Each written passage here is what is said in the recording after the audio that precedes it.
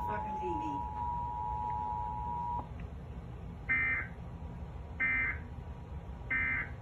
Oh, they aborted it.